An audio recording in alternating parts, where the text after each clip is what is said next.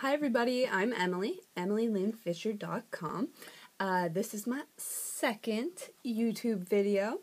It is Tuesday. Uh, today, I just want to talk about priorities. Oh, say hi.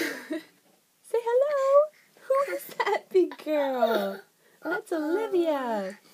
All right, so today I just want to talk about uh, priorities. So, what I've noticed is um, I write a list of priorities every day. Uh, I generally write down five, but uh, I've noticed in the last couple of weeks, and after hearing a quote, that is a phone. If you have more than three priorities, you have no priorities.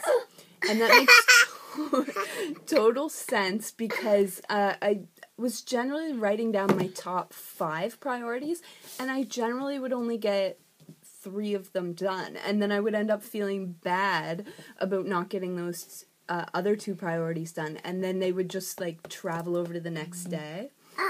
Oh, and then um, so what I want to encourage you to do is uh, to write a priority list only write uh, three priorities down. So, what are your top three priorities that you need done today?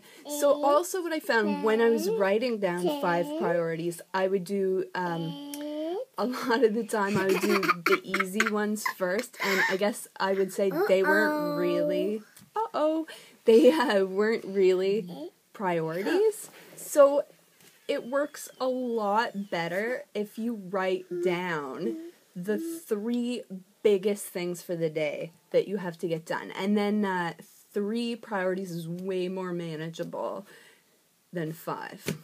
Go figure. Hi. okay. I think I think that's it. Uh, I finally got my video lengthways instead of up and down, like my uh, like my uh, first video.